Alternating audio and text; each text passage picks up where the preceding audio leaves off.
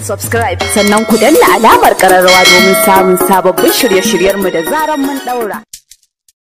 Salat is used as a means of seeking solace, forgiveness, and peace through invoking Allah's assistance. It serves as food for the soul.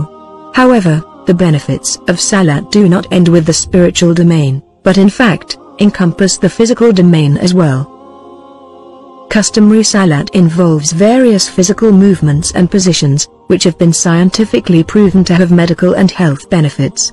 Even though Muslims generally offer their daily prayers out of their religious duty. However, modern-day science has shed light on the physical advantages of offering Salah. Here are a few of them. The different positions during the Salah help in improving the overall blood flow in the body. People have a lot of issues when it comes to blood pressure, whether blood flow is either too high or too low to a certain region in the body.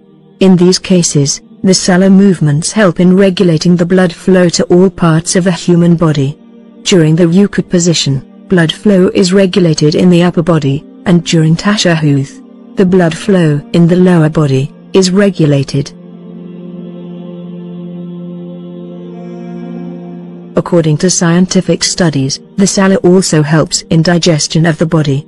For example, during the Kud state, which is basically when we are sitting down with one foot curled underneath them.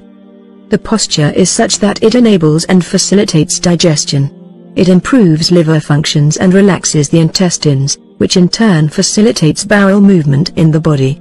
Sala can also help alleviate cases of constipation and overeating.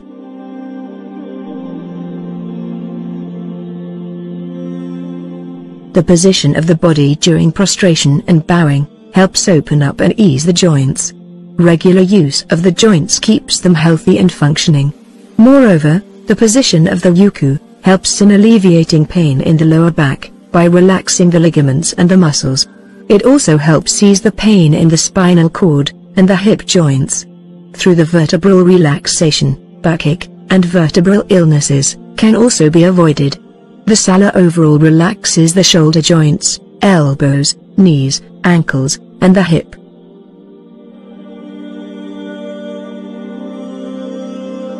In essence, Salah is also a form of exercise, and it increases a person's metabolism, which basically improves a person's cardiovascular health.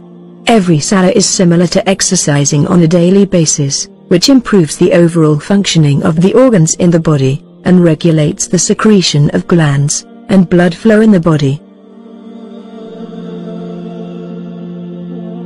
According to modern science, one of the healthiest forms of exercise is yoga, and it has been found the movements during Sala resemble the movements found in the domain of yoga. Yoga, like Sala, rejuvenates the overall bodily mechanisms. Yoga therapy aims to bring harmony in a person's life including physical, social, spiritual, and psychological, and creating a full circle of harmony.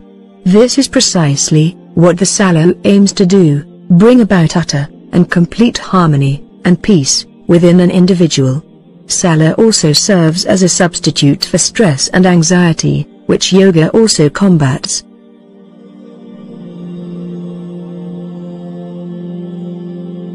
One of the most obvious benefits of the daily Salah is the overall cleanliness, and it keeps us in a constant state of purity. Before every Salah, a Muslim must perform ablution, which is cleansing of the mouth, nose, face, ears, neck, hands, arms, and feet. Staying in a constant state of cleanliness leads to healthier skin, and an overall healthy hygiene. It rids one of germs, allergens, various forms of infections, and diseases.